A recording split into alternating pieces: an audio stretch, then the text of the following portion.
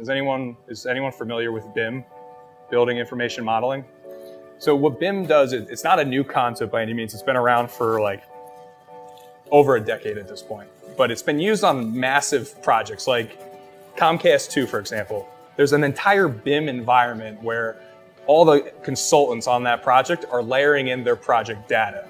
On something like that, you probably have a glazing consultant that's drawing their windows. You have acoustical consultants that are layering in different areas. You're gonna have your MEP consultants overlaying on top of all the architectural drawings. And it's essentially a 3D virtual environment that can coordinate literally and phase your project in a virtual world.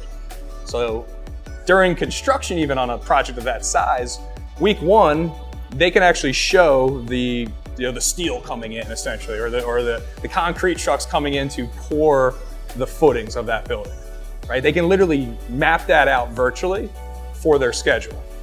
And we're not here talking about, no one here is building towers, or maybe you know people that are, but from a high level standpoint, that's the technology that massive firms are using to put up towers.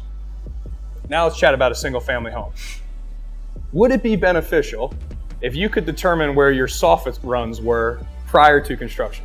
So if you take that level of technology, being able to coordinate fucking concrete trucks showing up, virtually showing where they're parking, when they're leaving, after stuff's being dumped out, cranes moving, all this, don't you think virtually we should be able to at least coordinate where our soffits are going and where our chases are from the first to third floor so we can accurately put in MEP systems and water pipes. But for the small to mid-level developer, that has not been done because most people who do that type of work that's exactly the thing. They say it's not cost effective to do that. It's not cost effective to get into a virtual environment and do that.